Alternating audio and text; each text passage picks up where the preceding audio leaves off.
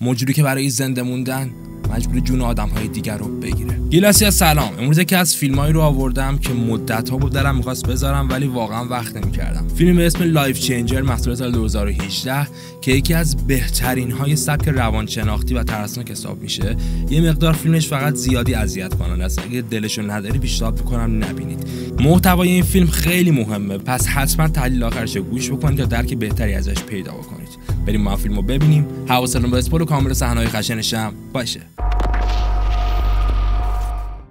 با شروع فیلم زنی رو می‌بینیم که از خواب بیدار میشه. عجیبه که بدن پوسیده یه نفر کنارشه و این زن اصلا اهمیتی نمیده. میره جلوی آینه و با بررسی بدن خودش متوجه یه سری زخم عجیب میشه. حالا با خیالی راحت بدن پوسیده روی تخت برمیداره و بعد خول کردنش به یه جای دور افتاده میره.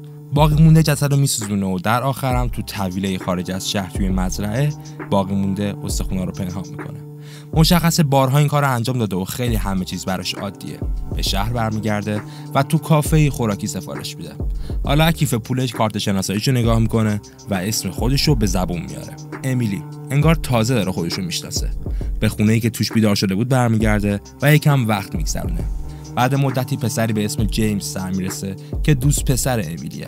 بهش میگه چند روز کجا گم و شدی و امیلی جوابی نمیده.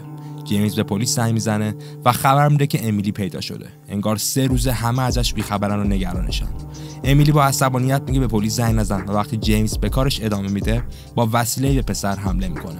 خیلی راحت هم جونش رو می‌گیره و مشخصه یکم عذاب وجدان داره. فقط یکم دوباره مثل همون کاری که قبلا انجام دادش از شر جنازه جیمز هم راحت میشه. حالا که میره جلوی آینه دوباره زخمای تنش رو نگاه می‌کنه که بیشترن و حالت پوسیدگی گرفتن. به خودش میگه چرا انقدر زود داره اتفاق میفته قبلا بیشتر طول می‌کشید. حالا فقط 6 ساعت وقت دارم تا عوضش کنم. از الان بگم خیلی جاهای فیلم دیالوگایی هست که فقط تو ذهن این شخصیت میگذره. چند دقیقه بعد کسی در می‌زنه و یک کارگاه پلیس به اسم رنسون. کارگاه از برگشتن امیلی متعجبه و اونم توضیح میده. یه مدت نیاز به تنهایی داشته. کم کم اعتماد کارگاه بهش جلب میشه. حالا که نشستن تا صحبت کنن امیلی یه دفعه دست کارگاه هم می‌گیره. بدن مرد شروع به لرزیدن می‌کنه و از درد فریاد می‌کشه. چند لحظه بعد همه بدنش میپوسه و از بین رفته. اما امیلی حالا کاملا به رنسون تبدیل شده. به روایت دیگه شخصیت اصلی ما یه موجوده که می‌تونه خودشو شبیه به هر کی می‌خواد در بیاره. البته که با این کار اون شخص واقعی رو باید بکشه. باید هر چند روزه بارم این کارو بکنه تا به زندگی ادامه بده. کارگاه جدید با لبخندی لباساشو مرتب می‌کنه و نگاهی به لوازمش میندازه. بعدم طبق عادت دندونای جسد رو می‌کشه تا هویتش معلوم نشه و تو کل خونه هم بنزین میریزه. بیرون خونه یه نفر سفارش غذا آورده و ازش تحویل می‌گیره. سوار ماشین میشه و چند لحظه بعد خونه و همه آثار جرمش از بین میرن. داره به زندگی جدید عادت می‌کنه و رادیوی پلیس هم از کار میندازه تا مزاحمش نشه. شب شده و حالا جلوی باری متوقف میشه. سگی اونجاست که با ذوق میاد طرف کارگاه رنسون که انگار مدت هاست میشناستش. رنسون میره داخل بار. زن تنهایی هم به اسم جولیا اونجا نشسته و رنسون علاوه بر خودش واسه اونم مشروب سفارش میده. زنم متعجب میشه چون این مرد تا حالا ندیده. رنسون خودش رو معرفی می‌کنه و بیشتر آشنا میشن. تا حدی که بیرون بار شروع به بوسیدن هم می‌کنن. اما یه دفعه بدن رنسون درد شدید می‌گیره و می‌فهمه این جسم جدیدش داره وقتش تموم میشه. سر جولیا داد می‌زنه که فرار کن. بعدم با همون درد زیاد سمت ماشینی میره که مرد میان سالی با یه دختر جوون داخلشن. علامت پلیس رو نشون میده و به دختر میگه فرار کن. میشینه داخل و مرد شروع به خواهش می‌کنه که ولم کنید. اما سکانس بعد نشون میده که بدن مرد پوسیده و حالا رنسونه که به اون تبدیل شده. مرد میانسالی به اسم سم. از شر این بدن دیگه هم خلاص میشه و از اطلاعات گوشی آدرس خونه رو پیدا می‌کنه. می‌رسه و می‌فهمه سم یه زندگی خیلی آروم با همسر و بچه هاش داشته. البته که جلوی بار می‌خواسته بهشون خیانت کنه. شب و کنار همسری که خیلی هم عصبی و شکاکه میخوابه. روز بعدی دختر خانواده میاد تا بیدارش کنه و سم که بچه ها خوشش نمیاد داد می‌کشه. از اتاق میره بیرون همسرش و بچه ها دور میز صبحونه منتظرشن. سم خوشحاله و یه متوجه میشه دوباره پوستش پوسیده. با نگرانی از خونه در میره. اتفاق دیگه ای هم هست که همیشه برای این موجود میفته.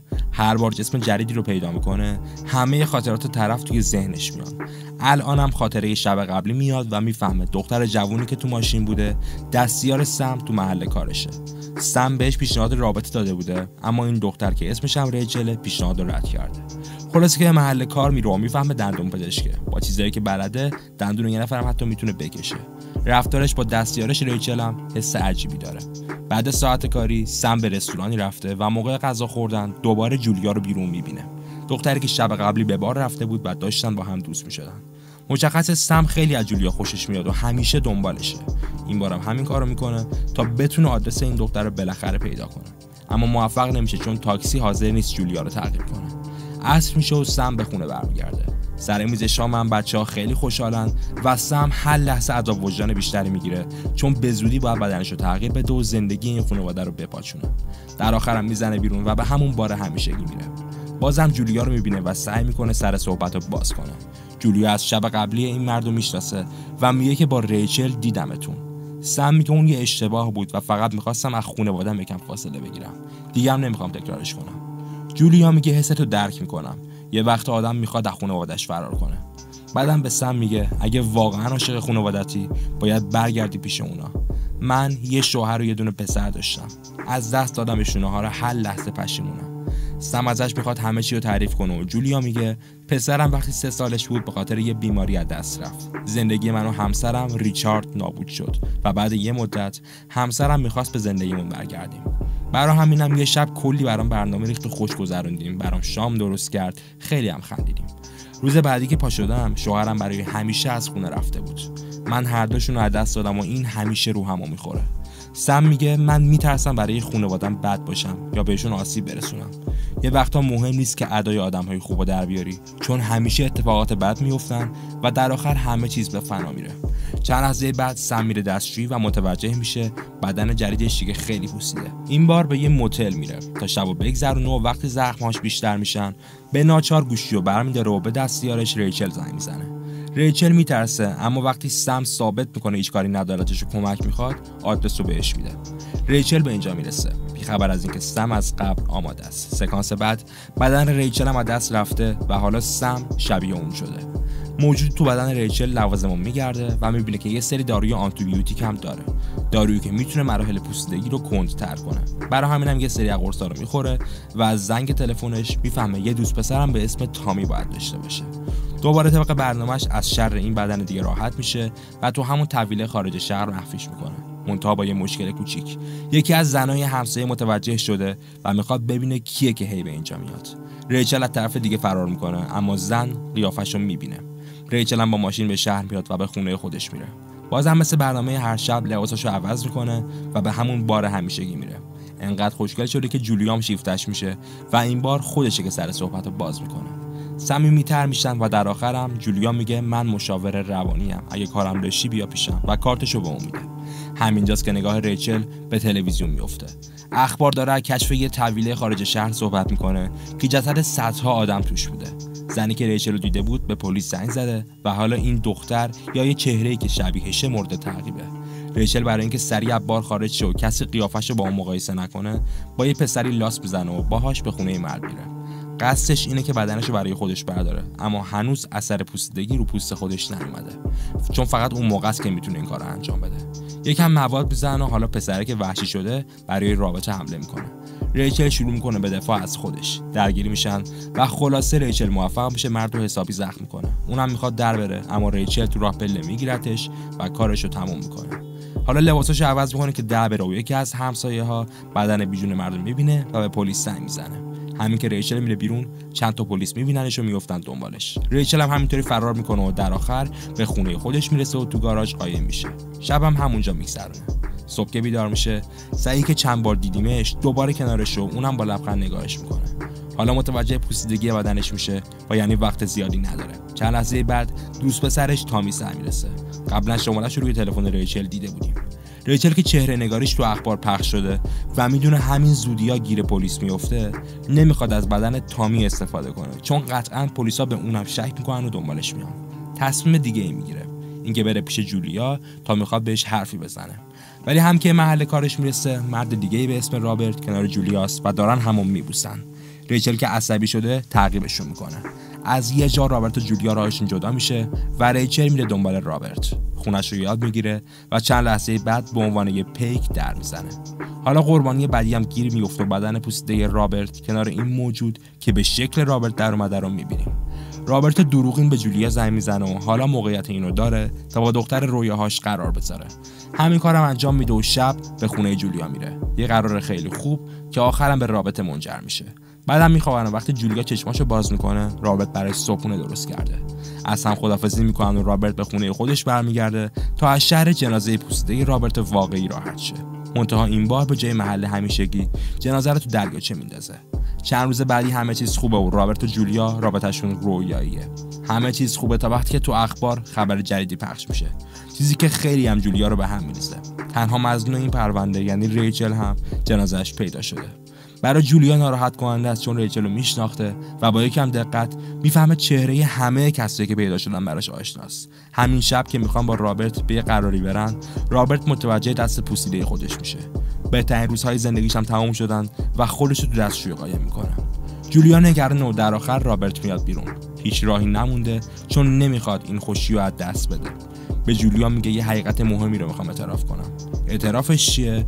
میگه وقتی دوازده سالم بود یه اشتباهی کردم که باعث از دست دادن مادرم شد. اون موقع سال 1954 بود. این خیلی برای جولیا عجیبه چون میشه نزدیک 80 سال پیش و این یعنی رابرت باید نزدیک 100 سالش باشه رابرت میگه اون روز من مادرم رو گرفتم. خاطراتش توی سرم اومد و اون لحظه بهم ثابت شد که چقدر عاشقمه. یه عشق خیلی خاص بود. عشق مادر به فرزند. هیچ وقت دیگه اون عشق تو زندگیم ندیدم. تا چند سال بعد که یه اتفاق عجیب افتاد. حالا جولیا بیشتر قاطی کرده و رابرت توضیح میده که من یه موجود خاصم و برای زنده موندن باید بدن آدمهای دیگر رو بگیرم. جولیا فکر می‌کنه شوخیه و میگه خب چی آدم رو می‌گیری رابرت میگه همه چیشونو ماهیت اونا رو خاطراتشون توی ذهن منه و انگار جای همشون باید زندگی کنم. جولیا که دیگه ترسیده می‌خواد بره بیرون و رابرت خواهش می‌کنه بمونه تا داستانش رو تموم کنه. بعدم به زور نگهش میداره و میگه اسم واقعی من دروه من تو رو تا به حال بیشتر از صد بار به شکل آدم های مختلف دیدم و هر روز برام تر شدی. اما اولین باری که دیدمت چند سال پیش بود. بدن مردی به اسم ریچارد رو تسخیر کردم. همون همسرت کسی که تنهات گذاشت. وقتی بدن ریچارد رو گرفتم اون به معنای واقعی عاشق تو بود و منم این حس رو تجربه کردم. جولیا خیلی عصبانی و می‌خواد بره اما رابرت ادامه میده. میگه بعد از مرگ مادرم فقط یه بار عشق واقعی رو تجربه کردم و اونم تو بدن ریچارد بود. این عشق اونقدر زیاد بود که شب برات اون همه غذا درست کردم تا بتونیم از مرگ پسرمون بگذریم و به زندگی ادامه بدیم.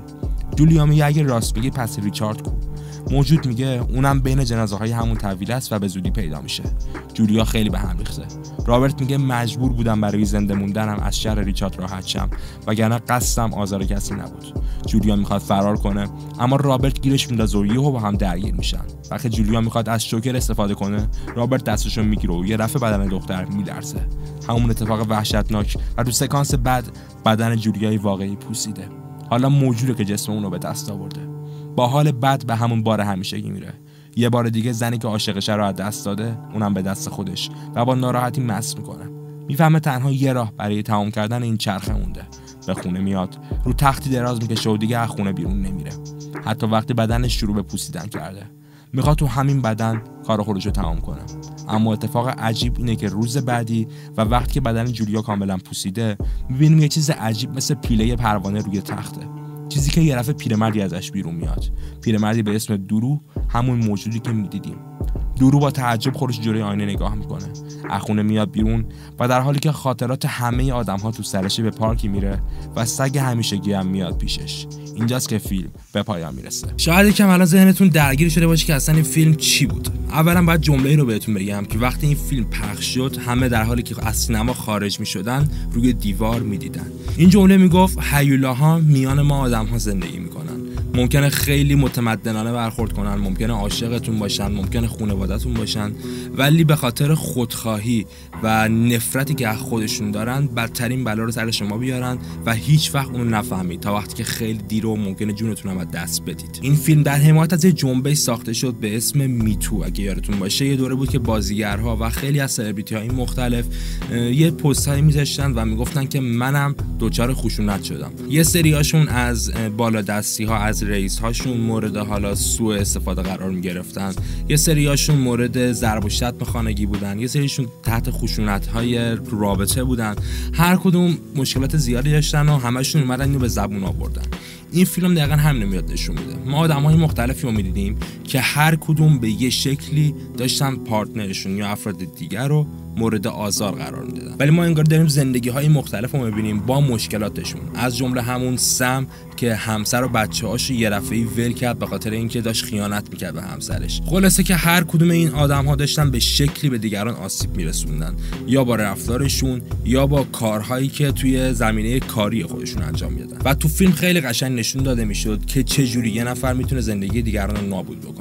آخر فیلم همون موجود به درو تبدیل شده بود. کسی که انگاری واقعا از اول زندگیش بوده. درو یه جایی بود که داشت می‌گفت مادر من تو وقتی که دوازده سالم بود یک اشتباهی رخ داد که من اونو گرفتمش.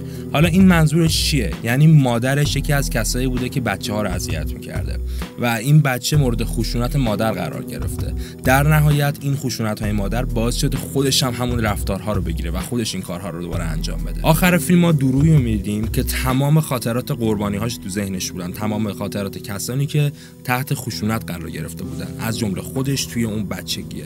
و حالا می‌رسه به جایی که نمی‌دونه واقعا چیکار بکنه. اصلا نمی‌دونه. شاید خودش کارهایی که با دیگران کردم همینقدر خودخواهانه بوده و زندگی اونها رو نابود کرده. یا شاید فقط به خاطر همون رفتار بوده که توی بچگیش مادرش باش انجام می‌داده. در نهایت تو پارک میشینه و ذهنش داره میپاچه. همه خاطرات رو سرشن و بازم نمی‌دونه اصلا یه آدمه یا یه حیولا یه جمله مهم دیگه هم هست که تو بار یه بار می‌زنه. وقتی که یه دختره ازش می‌پرسه تو آدم خوبی هستی یا نه؟ یه جواب میده که جواب به زبون نمیاره. اگه تو علامات متوجه نشدید باید بگم خیلی از جاهای فیلم ما فقط صدای تو سر این درو میشنویم. اون داره حرف می‌زنه با اون رو میگه چه جوابهایی خواد به دیگران بده. لحظه که این سوال ازش پرسیده میشه که جواب خیلی مهم میده. طرف پرسید تو آدم خوبی هستی یا نه؟ و درو تو ذهنش میگه من اصلا نمی‌دونم یه آدم حساب میشم یا نه. یعنی حتی انقدر ممکنه کارهاش کثیف باشن که خودش آدم هم ندونه. این فیلم می‌خواد به ما نشون بده که گاهی اوقات واقعا تو زندگی ممکنه کسایی باشن که با خودخواهیشون دارن همه چیمونو می‌گیرن. اصلا فکر نمی‌کنن به اینکه کارشون خودخواهیه ولی فقط از تو چیزهایی رو می‌خوان که تو نیستی. چیزهایی رو می‌خوان که نمی‌تونی بهشون بدی. چیزهایی می‌خوان که داره به تمام زندگی و انسانیت تو سرم می‌زنه حالا اینجا دو راه داری. یا اینکه تسلیم بشی و هر چی که می‌خوان بگی چشم و آن کارا رو برشون انجام بدی. در نهایت میشه همون بلایی که 12 سالگی سر دور اومد. تمام این رفتارها به تو هم انتقال پیدا می‌کنه. حالا تو ممکنه که از این زندگی بگذری بری سراغ یه نفر دیگه. و اون رفتارهای خودخواهانه اون رفتارهای بد و سر اون طرف پیاده بکنی. این یه چرخه که تا ابد انتقال پیدا می‌کنه. همونطوری که دور تا ابد مجبور بود زندگی دیگران رو بگیره تا بتونه زنده بمونه. راه دومت هم اینه که همون اول تو روی طرف وایسی. به که من نمی‌خوام تسلیم تو بشم. من این کار انجام نمیدم. من نمی‌خوام دیگه اینطوری باشم. کاری که درو بعد از تسخیر جولیا انجام داد. جولیا آخرین قربانیش بود. وقتی که فهمید این چرخه داره ادامه پیدا می‌کنه تصمیم گرفت که دیگه همه چیز باید تموم بشه. دیگه نباید تسلیم این خواسته های ذاتی خودش بشه که به بهونه زنده موندن به دیگران آسیب برسونه.